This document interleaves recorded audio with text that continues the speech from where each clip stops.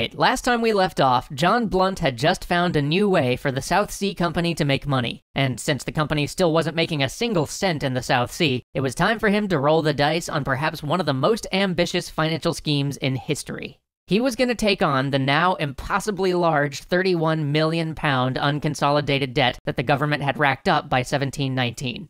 If successful, this would, beyond any doubt, make the eight year old South Sea Company the biggest financial institution in the world. It would also make anybody associated with the South Sea Company wealthy on a scale we can't even comprehend today. We covered this a bit last time, but just to refresh, the scheme was this.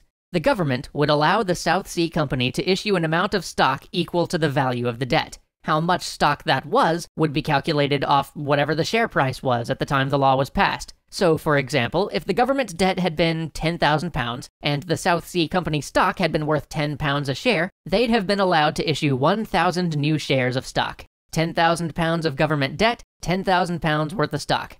The South Sea Company would then offer debt holders the opportunity to exchange their government debt for that stock, which would have seemed like a pretty good deal to those debt holders at the time, given how successful the South Sea Company appeared. The catch was that the South Sea Company would offer debt holders to exchange their debt for the current value of the stock. This means that if the price of South Sea stock continued to rise, they wouldn't have to trade as much stock for the debt as the government had calculated, allowing them to sell off the rest of the stock at market value and just keep the profit for themselves. So, say those hypothetical 10 pound shares happen to increase in value to 20 pounds each. The company would only have to sell 500 of their new 1,000 shares to cover the government debt now, after which they could just pocket the extra money they made selling off the rest. That's a pretty good scheme, and with a staggering 31 million pounds of debt on the market, the possibilities here are ludicrous. If they could even manage to raise their share price by a single pound, it could possibly net them a return on a scale of hundreds of thousands of pounds. Today, the equivalent value would easily be somewhere in the tens to hundreds of millions of dollars. But before they could rake in the money with such a scheme, they needed to convince the government to let them consolidate the debt. And by convince, I mostly mean bribe. With so much potential profit at stake, the size of those bribes were set to match, with individual members of parliament receiving upwards of a million dollars in today's money for their vote.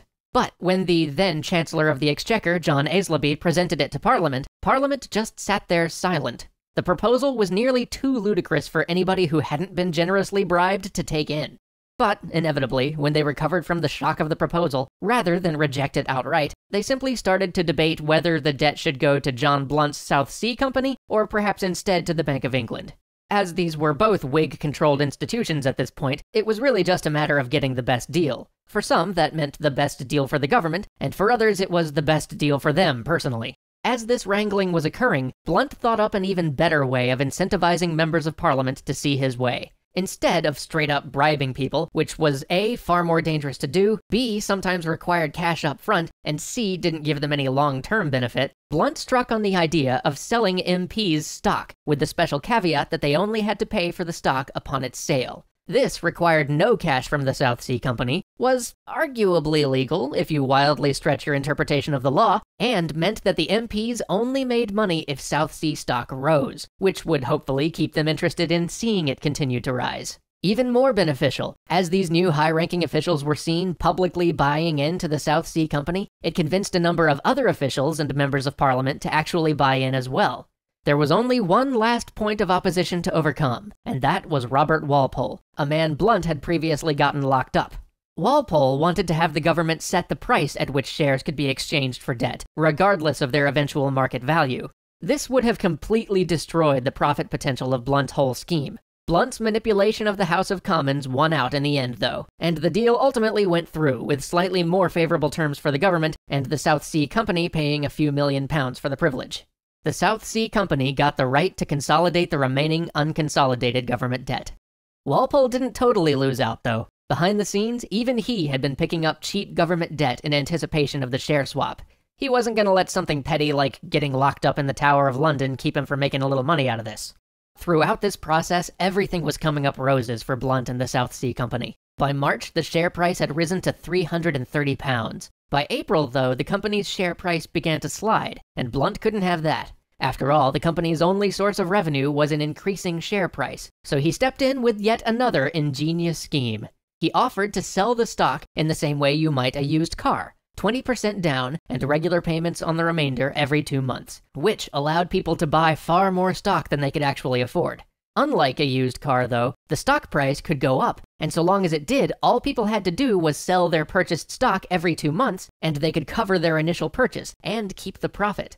This resulted in many people owning five times as much South Sea stock as they could actually pay for. And when they did profit, much as Blunt expected, many of them simply reinvested whatever they made to do it all again in the next two months. This helped push the price of South Sea stock even higher, and by the time the royal seal was on the debt swap agreement, the share price had risen to a ludicrous 550 pounds.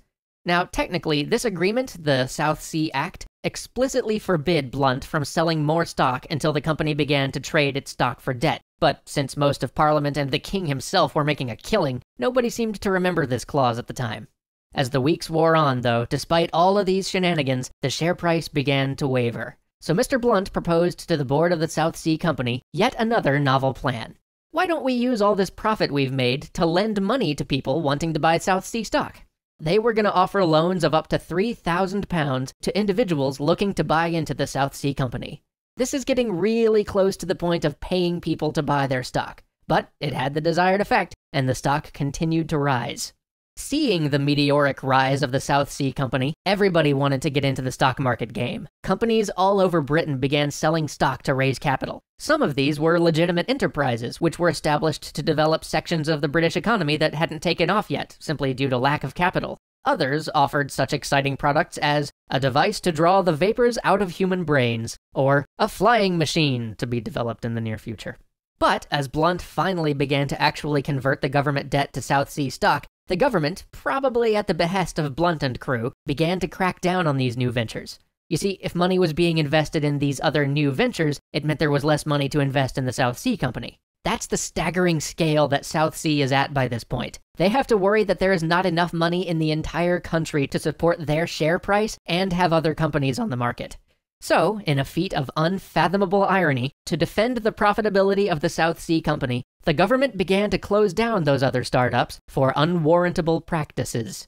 Unfortunately, this had the opposite effect that Blunt desired. As these other companies failed, the people who invested in them lost a great deal of money and began to sell their South Sea stock in order to cover their debts. But for right now, the stock was still on the rise overall, and with no rivals on the market and a fresh injection of loans from Blunt, South Sea shares skyrocketed from 503 pounds to 830 pounds apiece over the course of a week. Yet all was not actually well for South Sea. Between the copious bribes, the annuity payments, the loans, and the dividends, South Sea had spent over 8.5 million pounds over a handful of months. And because many people were only paying 20% of their share price for their shares now, the company had little in reserve. Despite the shaky state of things behind the scenes, Blunt was given a knighthood in June and made a baronet, and the South Sea Company made plans to move to opulent new offices down the street from its old rival, the Bank of England. Soon the company would be valued at close to 300 million pounds, 10 times the amount of government debt they were originally supposed to take on. And due to the loans and the low money down share price offers, they would be owed about 60 million pounds, more than the total amount of money in the economy of Britain. Just to put this in perspective, if a company had that ratio of valuation to national economy in the modern day US, it would be worth $85 trillion. Apple, the highest valued company in the world right now, is sitting at about two thirds of 1 trillion, and they actually make money. As you might have guessed, the center cannot hold. This type of fanciful madness can only be sustained for so long, and even as the company is reaching its peak, people are beginning to realize just how out of kilter things really are. Join us next time to watch the bubble burst, and to see the consequences for our reputable Mr. Blunt and all the other players.